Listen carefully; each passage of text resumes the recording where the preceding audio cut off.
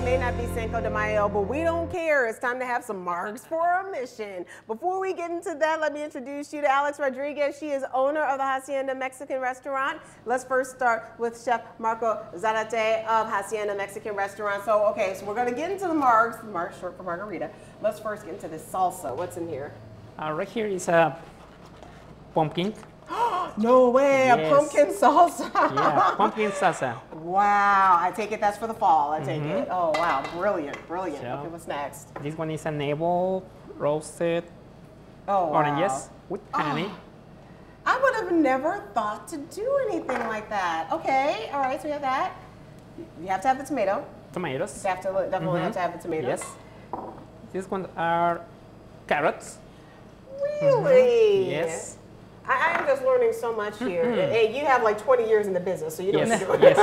jalapenos. Jalapenos, you gotta have the jalapenos with the salsa, definitely. While he continues to make this wonderful masterpiece here, we're gonna go ahead and talk to Alex Rodriguez. Tell us about Margs for Mission and how does it work?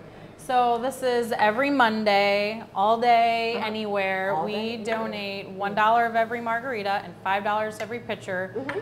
Directly to our current partner charity. So right now we're partnered with Kids Shouldn't Have Cancer in memory of Johnny Wade. Okay. and we're partnered with them through the end of November. So you Uh-huh. can come by today or any other Monday, Monday. and know when you're enjoying a margarita and a tasty seasonal salsa that you're also giving back.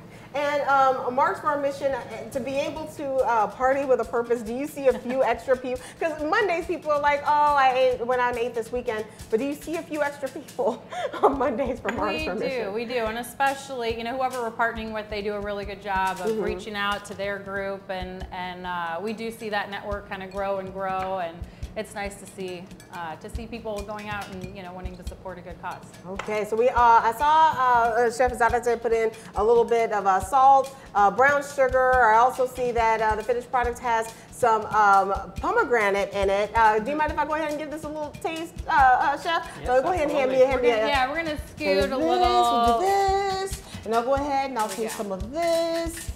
Takes a few hours kind of marry all those flavors, so Mm. We'll let It this tastes guy sit in the warm. It tastes cool.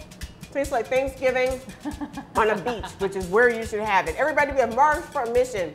Hacienda Mexican Restaurant, Mondays starting today.